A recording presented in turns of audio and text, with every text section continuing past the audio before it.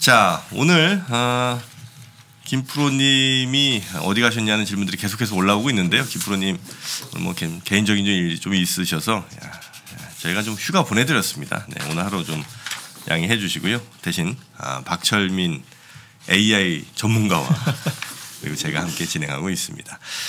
자 오늘 발칙한 월요일 아, 발칙한 우리 권순우 기자님과 함께하겠습니다. 반갑습니다. 예 안녕하세요 권순우입니다. 네, 예. 안녕하세요. 우리 머니투데이 방송의 에이스 어, 가장 예 두리스.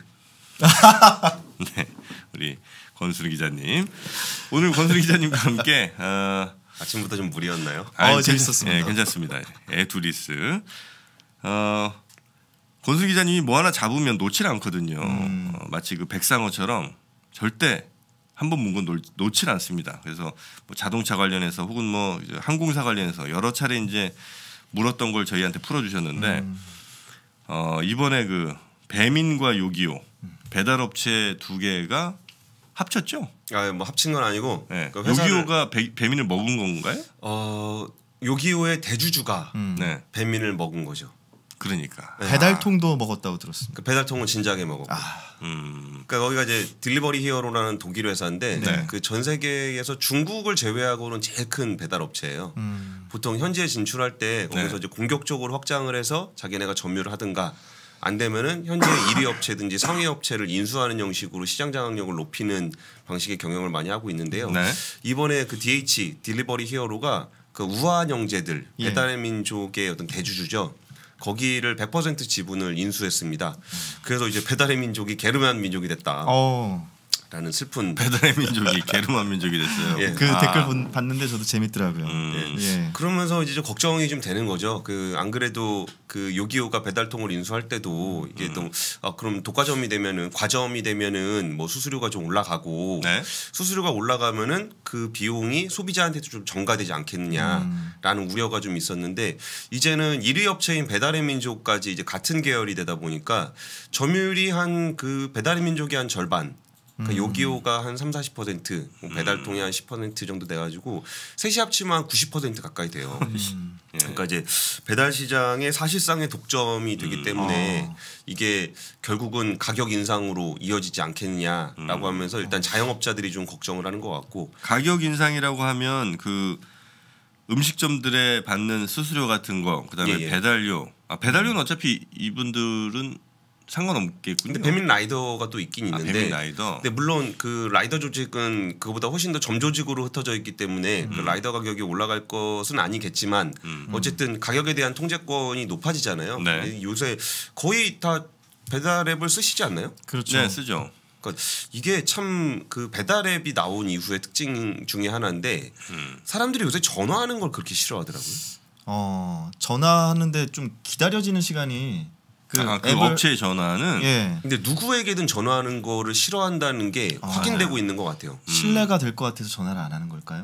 아니 그거보다도 이제 귀찮은 거죠. 누군가에게 이렇게 통화해서 뭘 시키고 하는 것보다 그냥 어, 손가락으로 눌러 갖고 메뉴 정하고 하는 이게 훨씬 더 아마 어, 불편하지 않다고 느끼는 것 같긴 해요. 그리고 좀 밀레니얼 세대들 같은 경우에는 그 심지어 그 전화를 하는 거를 되게 무례하다고 생각하는 사람도 있더라고요. 그러니까요. 아 무례하다. 네, 네. 음. 그러니까 문자를 보냈을 때는 확인하는 거는 수신자 마음이잖아요. 내가 볼 때 그냥 보면 되는 거고 음. 답하고 싶을 때 하면 되는 건데 전화로 해서 뭔가 문의를 하게 되면 즉각적으로 답변을 해야 되잖아요. 네. 그래서 그걸 굉장히 위협적으로 느끼는 사람들도 있더라고요. 어. 근데 보통 이제 좀 이렇게 연배가 있으신 분들한테는 전화로 안 하고 문자 보내면 성의 없다 그러잖아요. 그렇죠. 어, 맞아요. 아, 전혀 반대네. 네. 어. 그래가지고 저희는 보통 이렇게 전화를 많이 하는데 왜냐면 저희 즉각적으로 기사를 써야 되기 때문에 문자 보냈다 답 안 오면은 마감 넘길 수도 있으니까. 음. 네네네. 어 근데 그 전화하는 거를 굉장히 무례하게 느끼는 분들이 좀 계셔가지고 네. 요새는 뭐 전화해도 될까 이래서 문자 보내놓고 아, 하기도 문자 하고. 먼저 보내고 전화를 하시는군요. 예 그리고 이제 그 전화를 배달을 시킬 때도 아. 뭐 하다가 이것저것 물어보면은 막또 되게 바쁜 것처럼 느껴질 때가 있잖아요. 음. 그렇죠. 뭐, 음. 뭐 돼요, 뭐 돼요, 뭐 치킨 시켜도 반반 돼요, 간장 돼요, 뭐 물어보야 되는데 음, 이거를 조금 이렇게 그분이 좀 퉁명스럽게 답변을 한다거나 이런 거를 조금 어려워하는 경향이 있는 것 같아요. 음. 어, 지금 좀 몇 분이 말씀하시는데 네. 실제 그 어, 점원분이랑 직접 대면해서 대화하는 거를 무서워하는 분들이 많대요. 네. 어, 의외로 많더라고요. 네, 그래서 그러니까 그것도 어려우니 전화하는 것도 어뭐 무례하다는 것 보다 무서워하는 게 아닌가 하는 생각이 살짝 들기도 하고요. 그러니까 누군가와의 실시간 대화를 어, 이 대화 자체가 좀 무서운 분들도 좀 있는 것 같고. 심지어 네. 그 배달원 오시면 숨는 분들 있죠. 어. 있어요.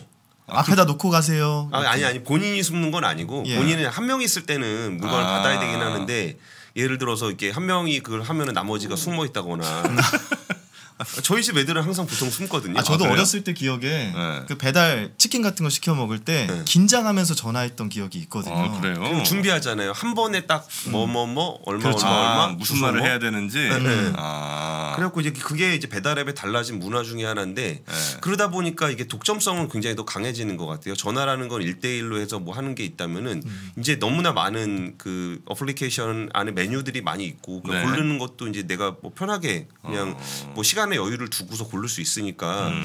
배달앱을 굉장히 많이 이용하게 되는데 이제는 그 전화보다 배달앱 시장이 굉장히 강해졌기 때문에 그 배달앱 시장이 일종의 관문처럼 됐어요. 네. 근데 관문의 90%를 한 개 업체가 점유를 한다는 거기 때문에 음. 소비자들의 불안감도 좀 커지고 있고 네. 과연 이걸 공정거래위원회가 허용을 해줄까? 음. 인수를 이미 했는데 공정위가 허용 안 하면 어떻게 됩니까? 어 기업결합 심사가 안 되는 거지. 기업결합이 안 되는. 독점이라고 판단을 할 수 있는 거죠. 그러면 음. 그럼 뭐 다시 그 돈을 뭐 물어내요? 어떻게? 어 그거는 딜이 무산되는 거는 제가 잘은 몰라도 음. 일반적으로는 계약 조건에 두는 경우가 좀 있어요. 아 만약에 공정이 서- 허용 안 해주면 이건 이제 딜 못 한다. 예, 뭐 인수를 못 하게 할 수 있는 거니까. 네. 네. 그래가지고 이번에 그 배달의 민족 김봉진 대표가 그 사내 그 직원들에게 보낸 편지에 묘한 메시지를 몇개 넣어놨거든요. 음. 근데 그거를 이제 해석하기에 따라서 좀 다른데 네. 뭔가 그 보도 자료에 보면은 뭐 시사 뭐 일본계 자금이 있는 시사와의 뭐 경쟁 뭐 이런 얘기가 좀 나와요. 음. 그 누가 봐도 일본계 자금 시사면 쿠팡이거든요. 아하.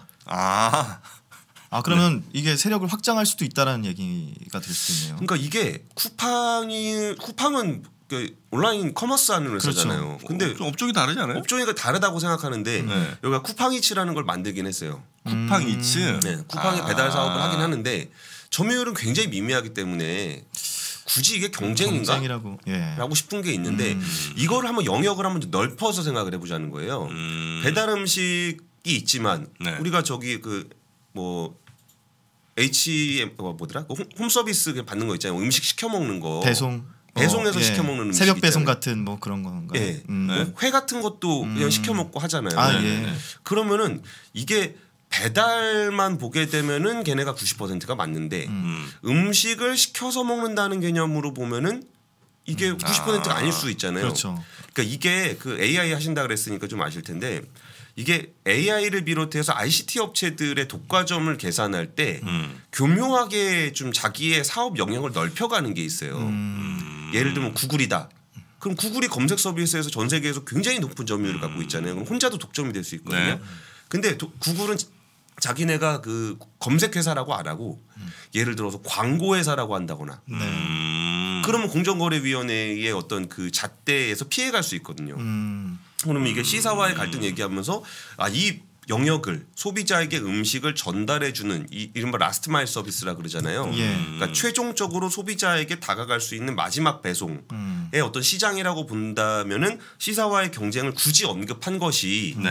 공정거래위원회를 염두에 둔 아하. 것이 아니겠느냐. 아 그래서 실제로 그 배민 들어가 보면 이제 배민 마트라고 있어요. 음. 그러니까 무슨 식자재 같은 거 있죠. 어, 예. 그거를 또 하나 만들었어요. 음. 그러니까 이제 여기는 음식만 배달하는 그 중개하는 업체 성격만이 아니라 예. 아예 그냥 그런 쇼핑몰과 비슷한 것까지도 이제 가는 거죠. 예, 예. 음. 그렇게 되면 이제 독점과 무- 무관해질 수 있는 거니까. 그러니까 사실상 배달앱에서 보면 독점은 맞는 것 같은데 이게 공정거래위원회가 그거에 대해서 시비를 걸지 않도록 하려면은 자기의 사업 영역을 넓힐 필요가 있어요. 네. 그러니까 자기네 비즈니스 자체는 독점력을 유지하기 위해서 노력하면서도 대외적으로는 자기네 영역을 넓혀놔야 독과점 이슈에서 좀 자유로울 수가 있습니다. 이 얘기만 들어보면 지금 그 시장을 제도가 못 따라가는 그런 현상도 좀 느껴지는데요. 예를 들어서 지금 같은 게 이제 플랫폼 사업 아니겠습니까? 예, 예. 그러면 플랫폼 사업에 대해서 지금 영역이 확장되는 거, 그러니까 어떻게 보면 사업을 신고를 할때 예. 사업의 어떤 어, 형태에 따라서 사업을 이걸 할 수 있고 없고가 정해져 있는데 플랫폼 사업 같은 경우에 지금 무한대로 영역을 확장해도 어, 거기에 대한 규제가 없는 뭔가 제도에서 벗어나 있는 그런 느낌을 받을 수 그러니까 있어요. 규제하기가 좀 어- 애매한 상황이 좀 되긴 했죠. 근데 네. 이거는 그 공정거래법을 플랫폼 사업자에게 어떻게 적용할지는 제가 다음에 한번 준비를 해오고 네. 여기 같은 경우는 아까 말씀드렸던 소비자들의 우려와 음. 경쟁 당국에서도 우려를 해요. 워낙 영역이 그러니까 점유율이 높은 회사들이니까. 네, 네, 네.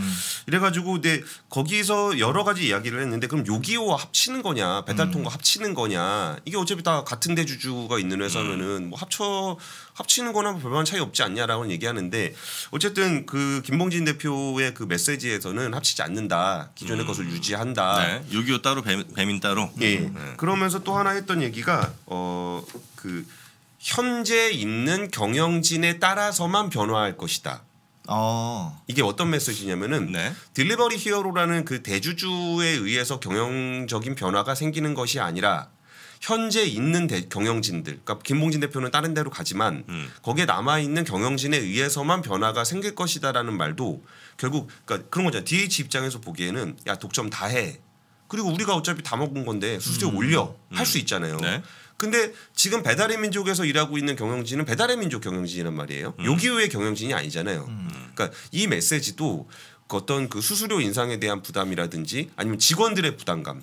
어 우리 회사가 지금 다른 데로 넘어갔으니까 우리를 구조 조정을 한다거나 뭐 경영 어떤 복, 복리 후생이 뭐 네. 요기요 수준에 맞춰진다거나 수준이 어느 때가 높은지는 모르겠어요. 하지만 이런 게 맞춰진다거나 아니면 소비자들이 가격이 올라가는 거 아니야?라고 해서 우려를 한다거나 이런 것에 대한 우려를 줄여주기 위한 메시지인 것 같아요. 그리고서 이제 그 뭐 우버이츠 같은 경우는 우버에서는 그 배달 서비스를 종료를 했지만 뭐 네이버라든지 쿠팡이라든지 이런 데서 하는 데가 있긴 있거든요. 그래서 이게 독과점 이슈에서 조금 자유 그좀 자유롭고 싶다는 점 그리고 소비자들하고 어떤 그 자영업자들의 걱정을 조금 더 줄여주는 거 직원들의 걱정도 좀 줄여주는 그런 메시지라고 봅니다. 네. 근데 이번에 일단 이 구조 자체를 조금 설명을 드려야 될 것 같은데 구조가 좀 어려워요. 어떤 구조예요? 이번에 인수 구조가. 음흠. 그러니까 딜리버리 히어로가 우한 형제들 지분을 100%를 가져가는 사가는 구조거든요. 우한 형제들의 대주주 지분을 예, 100% 지분. 음. 100%요? 예, 예. 아 우한 형제들은 아직 상장이 안 돼 있는 아. 상장 안 돼 있고 네. 대주주 지분이 한 13% 정도 되는 걸로 추수가 알려져 있고요. 87%는 그 재무적 투자자, 그 이전에 아, 이전에 아, 비상장 아, 당시에 투자했던 뭐 싱가포르 투자청이라든지 뭐 히라우스라든지 뭐 히라우스가 지분은 제일 높긴 해요. 네. 그리고 어 그런 데들 그 골드만삭스 이런 데들이 그 주요 주주로 참여하고 있는데 그런 회사들이 갖고 있는 주식들을 다 100%다 산다고요? 100%다 삽니다. 안 팔면 어떻게 사요? 예? 그 높은 가격을 주면 사는 건가? 아 그러니까 그냥 100% 지분을 사기로 계약을 한 거예요. 어. 어. 그러니까 딜리버리 히어로의 우아한 형제들은 그냥 아예 종속이 되는 거죠. 100%를 사갔으니까. 네. 그런데 여기서 되게 묘한 포인트가 뭐냐면은 음. 일각에서는 야 이 정도 구조면은 우아한 형제들이 딜리버리 히어로를 인수한 것 같다. 어. 라는 얘기가 좀 나오는데 왜 그런지를 조금 복잡하지만 네. 설명을 드릴게요. 그리고 이, 이 얘기를 다 설명을 들으시면은 네. 우리나라의 어떤 오투어 업체가 글로벌하게 진출하는 어떤 하나의 그 새로운 방식으로 느껴지기도 해요. 음. 왜 이런 구조가 생겼냐면은 그 우한 형제들은 여기저기서 투자를 받으면서 대주주 지분율이 많이 낮아져 있는 상황이에요. 네네. 그럼 87%의 지분을 가지고 있는 재무적 투자자들 같은 경우는 엑시스를 해야 되잖아요. 뭔가 자금 회수를 해야 되잖아요. 네. 그러면은 여기서 상장을 하게 되면은 굉장히 대주주 지분율이 더 낮아지는 일들이 생길 수가 있어요. 음. 그러니까 외부 투자를 많이 받은 기업 같은 경우는 네. 상장을 하기가 좀 어렵기도 합니다. 근데 DH가 이 그 우아한 형제들의 지분을 다 인수를 하면서 네. 그 87%의 재무적 투자자들의 주식은 음. 다 현금으로 인수를 했어요. 네. 동, 현금을 주고 우한 형제들의 지분을 가져갔기 때문에 음. 우한 형제들의 재무적 투자자들은 다 현금으로 그 지- 주식을 팔았습니다. 네. 근데 김봉진 대표의 지분 13%는 DH의 지분으로 가져가 줬어요. DH의 아, 현금으로 주지 줬다. 않고 예. DH의 지분으로. 그러면 어, 김봉진 대표는 일단 거기에 이제 지분을 가지고 있는 주주가 되는 거죠. DH의 주요 주주로 참여를 하게 아하. 되는 거죠. 네. 그러니까 네. 이거를 뭐 그냥 뭐 여- 영어로 얘기하면 수합인데 음. 주식 수합인데 그러니까 뭐 주식을 주고 주식을 받았다고 볼 수 있는 거죠. 네네. 그러면 DH에서 김봉진 대표의 위치가 어디로 어디까지 되느냐인데 어. 여기서 그 DH의 대주주는 나스퍼스 그룹이라고 네. 그 사우디아 어, 남아프리카 공화국에 있는 투자사예요. 음. 남아공이요? 예, 예. 어. 여기가 조금 특이한 회사인데 네. 어, 이 회사의 제일 유명한 주식은 중국의 텐센트예요.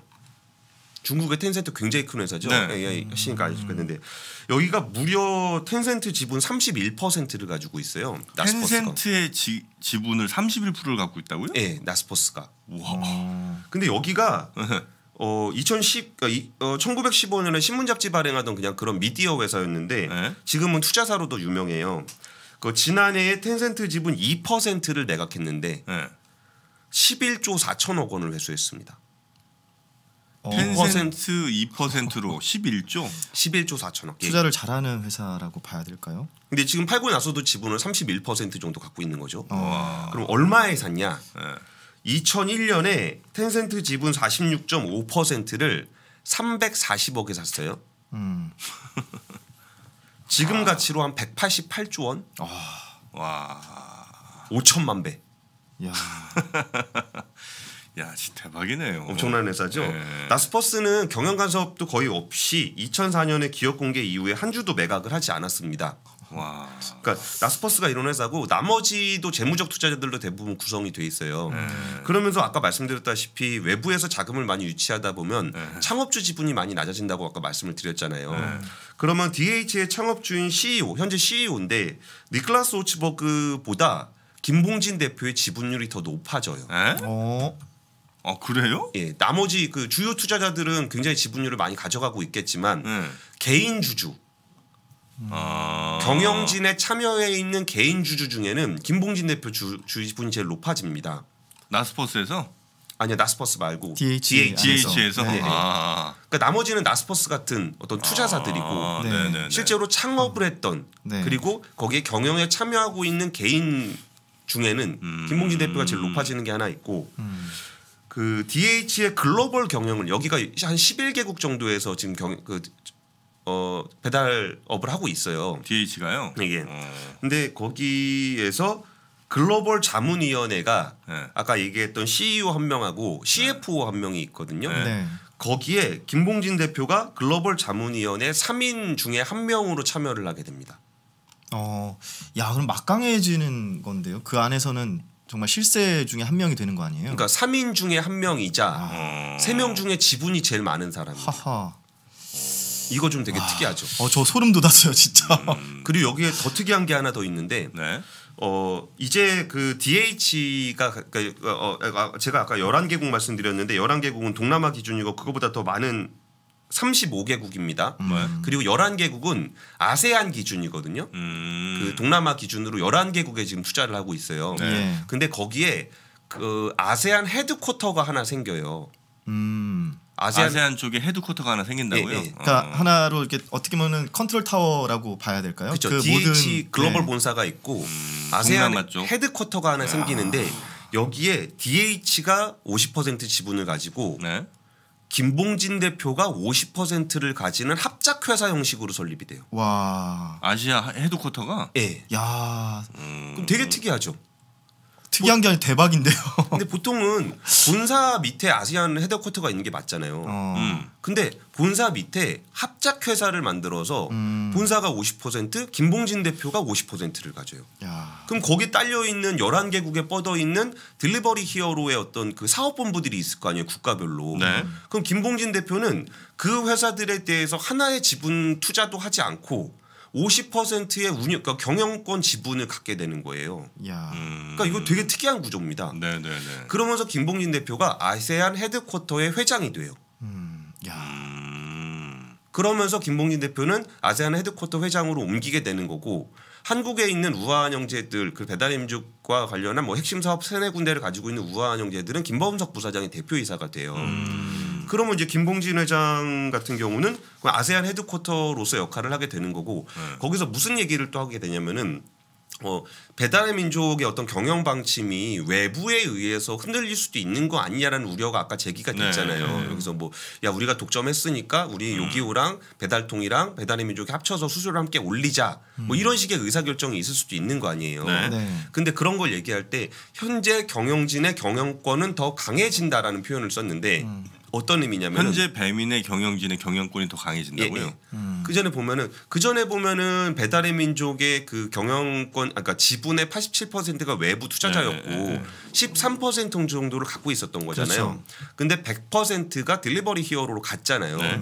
근데 딜리버리 히어로가 100%를 갖고 있는 그 갖고 있지만 음. 실질적으로 배민에 영향을 미치는 건 아세안 headquarter란 말이에요. 음. 근데 아세안 headquarter의 아, 회장은 김봉진. 거예요. 아.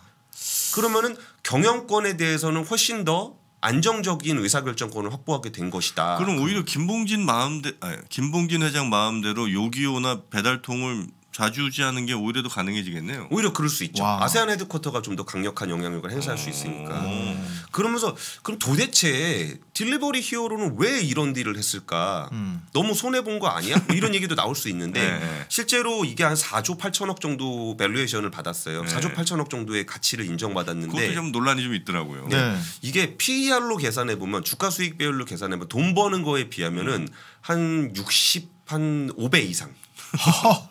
어. 야. 엄청나게 많이 줄였죠. 네네. 네. 그리고 PBR 자산 기준으로 봤을 때도 한 15배 이상에서 한 15배에서 20배 사이 정도. 근데 어차피 자기 회사로 인수를 하는데 그렇잖아요. 예, 예. 스스로 자산을 뻥튀기 한 느낌도 드는데요. 어 아니죠. 보면 그러니까 아, 어, 자기 회사라는 것은 아니죠. 왜냐하면 현금으로 지급을 해야 되니까. 아 지금은 일단 주주들한테 하긴 하니까 그러니까 87% 주주들한테는 예. 그걸 현금으로 줘야 되기 때문에 아하. valuation이 올라가는 게 DH한테 좋은 건 아니에요. 음. 그러면 야 DH가 손해 본 거 아니야? 라고 생각할 수도 있는데 네. 네. DH 주가가 아, 우, 우아한 형제들 인수를 발표한 그날 음. 23%가 올랐어요. DH는 본사가 저 어디 어디입니까? 독일. 독일 회사인데 독일 회사인데 23%가 올랐다고요? 예, 예, 프랑크푸르트 거래소에서.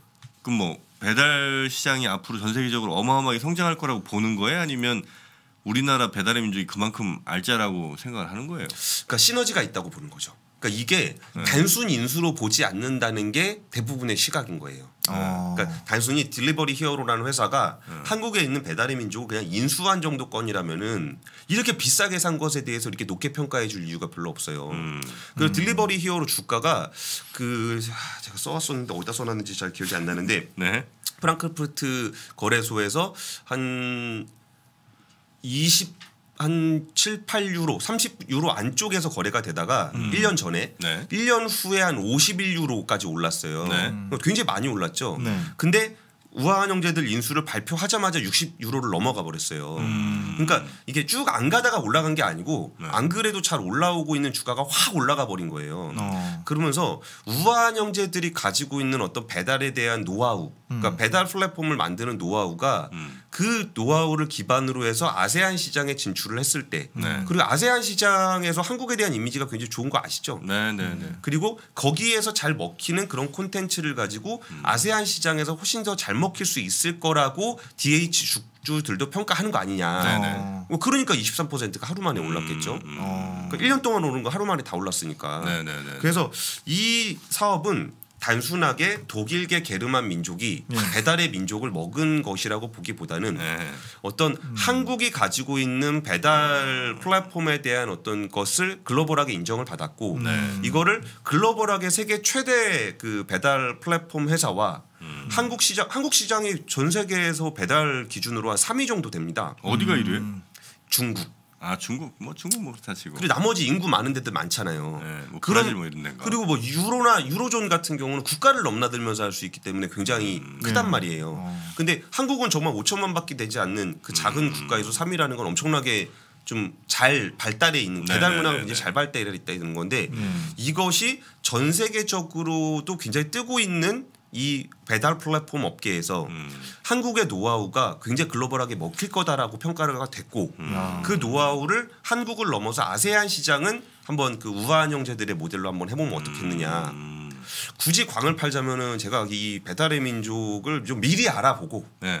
한 2010년대 초반 그때 김봉진 대표를 불러서 한번 인터뷰를 했었습니다. 네. 아 그때만 하더라도 김봉진 대표 이렇게 막 아 그 짜장면 찌라시 주스로 다니고 막 그랬거든요. 어. 그때는 좀 예.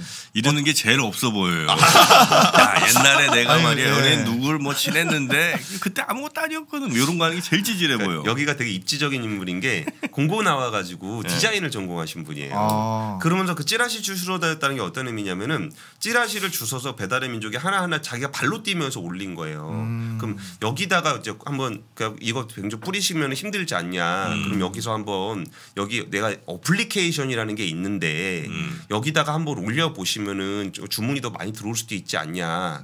그러면서 아. 배달의 시작이 정말 그분이 발로 뛰면서 업체 하나하나 찾아다니면서 여기다가 한번 올려 봐라. 뭐 사실 뭐 거기다가 광고 효과 있을지 없을지도 모르는데 누가 돈도 돈도 내는 사람도 없잖아요. 네. 어. 그러면서 하나하나 차곡차곡 모아서 일종의 처음에는 광고판 같은 형식이었어요. 맞아요, 맞아요. 즉시 결제도 아니고 네. 그러면서 이런 일을 개척을 했던 것이 대단하네요. 지금의 어떤 플랫폼 사업과 그리고 last mile 서비스 음. 최종적으로 소비자들에게 갈 수, 도착할 수 있는 그런 플랫폼을 만들었다는 거에 대해서는 정말 글로벌한 트렌드를 앞서갔던 인물이라고 볼 수 있는 거고 그것이 정말 한국의 플랫폼 회사가 이게 어 김봉인 대표도 그 얘기를 하긴 했어요. 네. 아, 한국에 상장을 못하고 독일의 상장사가 된 것이 조금 아쉽다. 음. 뭐 이런 얘기를 하긴 했는데 과연 그 자본의 국경이라는 게 과거에는 좀 그 누가 창업을 했느냐를 기준으로 자본의 국경을 정했고 음. 그 다음에는 누가 돈을 냈냐를 기준으로 글로벌 자본을 정했거든요. 네. 근데 이- 여기 이번에는 좀 특이한 구조가 음. 지난번에 그 손정희 회장하고 라인하고 합친 것도 네네. 이것도 그럼 라인이 한국 회사야 일본 회사야 막 이런 고민을 하게 되는데 음. 플랫폼 사업의 영역이 글로벌해졌을 때 어 그러면 우리나라 회사라는 게 어떤 의미일까라는 것을 다시 한번 좀 생각해 보는 계기가 되는 것 같기도 해요. 음. 그러네요. 역발상이네요. 그 게르만족이 배달의 민족이 아니라 배달의 민족이 지금 세계로 진출한 사례라고 이걸 평가할 수도 있겠네요. 그러니까 이게 한국의 모델이 글로벌해지는 것으로 볼 수도 있는 거고 네. 그럼 한국의 모델을 가진 한국 사람이 동남아에서 비즈니스를 하하. 하는데 자본은 독일 자본이고 거기에 개인 최대 주주는 한국 사람이야. 어. 거기에 그런데 또 자본으로 최대 주주는 남아프리카 공화국이고. 정말 글로벌인데요. 네. 그래서 이 그 딜 자체도 굉장히 특이하고 네. 비즈니스 자체도 굉장히 좀 관심이 가는 그런 딜이어서 좀 발칙한 어리를 주제로 준비를 네네. 했습니다. 어.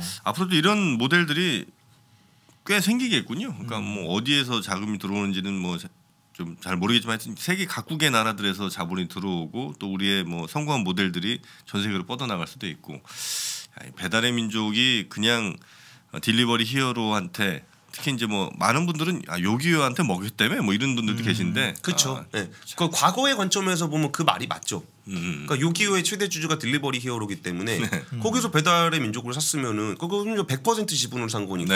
네네네네. 그럼 먹힌 거네. 이게 과거의 관점인데. 전혀 그럼 진짜 여기서 되게 많은 그 관전 포인트를 줘요. 이게 네네네. 뭐 아까 이- 뭐 마지막으로 다시 한번 또 강조를 드리면은 이게 왜 시사를 경쟁 상대로 삼느냐. 쿠팡. 음, 그럼 이게 배달이라는 것과 예. 네. O2O 비즈니스 그리고 배송 서비스 음. 뭐 이런 것들이 이제는 점점 경계가 없어지는 네. 그냥 사람들 입장에서는 우리 집으로 먹을 거를 갖다 주는 사람. 음, 근데 꼭 먹을 것만 갖다 줄 이유는 없잖아요. 음. 옷도 갖다 줄 수 있고 그쵸. 책도 갖다 줄 수 있고 음. 뭐 그런 거가 되면은 야 이게 O2O 비즈니스가 활성화되면서 배달하고의 경계선이 많이 사라지고 있을 때 네네. 그럼 우리는 앞으로 어떤 서비스들을 또 다시 목격하게 될까도 굉장히 좀 재밌는 어. 그 관심 포인트인 것 같아요. 자 딜리버리 히어로의 어, 앞으로 주가 한번 제가 관심 있게 쳐다보도록 하겠습니다. 자 오늘 아주 발칙한 경제 재밌는 내용 전해주신 머니투데이 방송의 권순우 기자님 대단히 고맙습니다. 예 감사합니다. 네.